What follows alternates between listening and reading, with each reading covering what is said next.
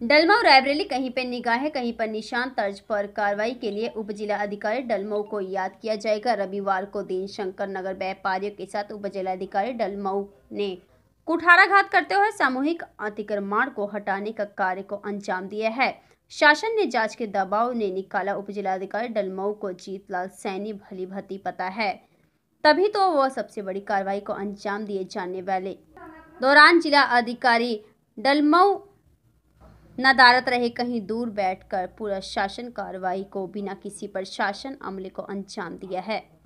उप जिलाधिकारी डलमऊ जीतलाल सैनी ने 20 नवंबर को एक भी गरीब के अवैध झोपड़ी गिराने का बकायदा प्रशासनिक जिलाधिकारी के साथ मिलकर एक असहाय गरीब झोपड़ी को बुलडोजर से ध्वस्त करवाकर विभागीय वह वह लूट की है। आज मौके से नदारत करना किसी तरह का इशारा कोई नहीं है। आप देख सकते हैं प्राइम ब्रेकिंग न्यूज़ चैनल के लाइब्रेरी से सिद्धार्थी वेदी की रिपोर्ट।